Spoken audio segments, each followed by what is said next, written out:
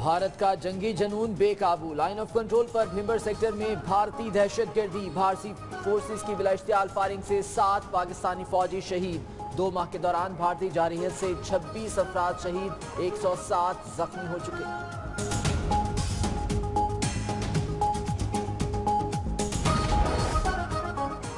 Of control पर पाक फौज की भरपूर जवाबी कार्रवाई मुताद भारतीय फौजी हलाक। आईएसपीआर के मुताबिक भारतीय चमकोस्टों को निशाना बनाया गया। पाकिस्तान ने भारतीय फौज के तीन मोर्चे तबाह कर दिए।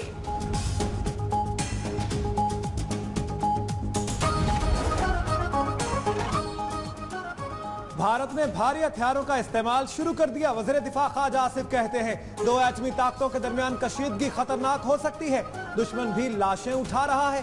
पाकिस्तान के अंदर भी दहशत गर्दी में भारत मुलविस है। अमन की ख्वाहिश को कमज़ोरी न समझा जाए। दफ्तर खारजा का भारतीय दहशत गर्दी पर शदीद एहतजाज। भारतीय हाई कमिश्नर को तलब करने का फैसला। भारत ने रवा बरस 222 मरतबा लाइन ऑफ़ कंट्रोल की खिलाफ वर्जी की। मोदी सरकार खून की प्यासी बन चुकी है। बिलावल भुट्टो कहते हैं पीपल्स पार्टी और पूरी कौम पाक फौज पर फख्र करती है। पाकिस्तानी अवाम और अफवाज मिलकर भारत के खूनी ख्वाब चकनाचूर कर देंगे। बिलावल भुट्टो, शेख रशीद समेत दीगर रहनुमाओं की भारतीय दहशत गर्दी की शदीद मजम्मत।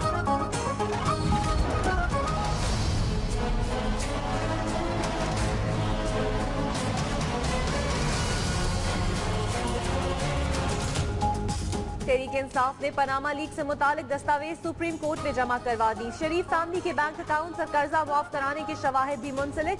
वज़ीर आज़म के बच्चों के वकील के लिए अक्रम शेख का वकालतनामा जमा। सुप्रीम कोर्ट का पाँच रुकनी बेंच कल समाप्त करेगा।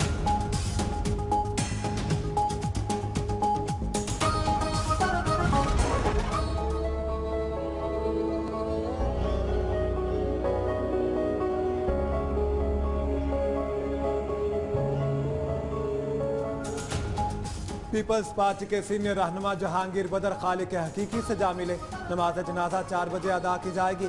रिहायशगाह पर सियासी रहनुमाओं और कारकुनों की बड़ी तादाद पहुँच गई। पीपल्स पार्टी का तीन रोजा शोक का ऐलान।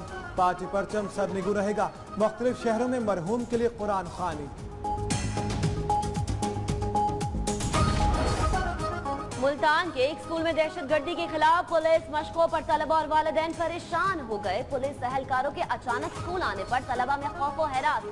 वालदेन बच्चों को घर ले जाने के लिए स्कूल पहुँच गए।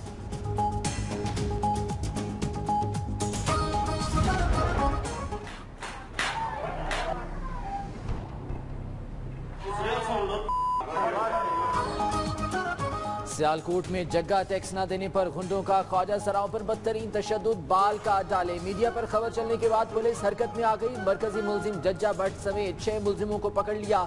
तशद का शिकार ख्वाजा सराव ने थाने में मुलजिमों पर थप्पड़ों की बारिश कर दी।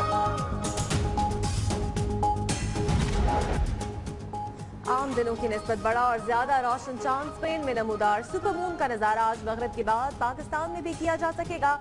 अगले सुपर मून के लिए 2034 तक इंतज़ार करना होगा।